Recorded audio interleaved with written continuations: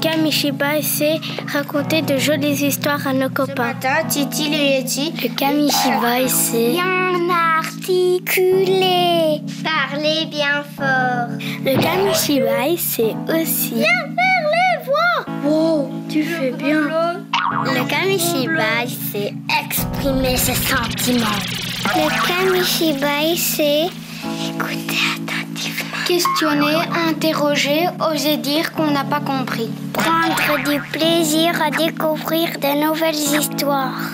Le Kamishibai, c'est aussi s'organiser et structurer son travail de groupe, se répartir les tâches. Le Kamishibai, c'est inventer des histoires, les découper en paragraphes.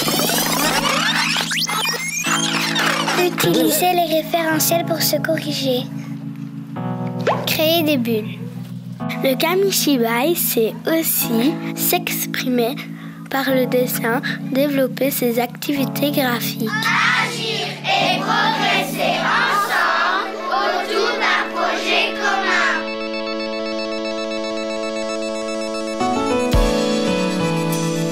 Inscrivez-vous et retrouvez toutes nos émissions sur notre site www.maclassesatellé.be.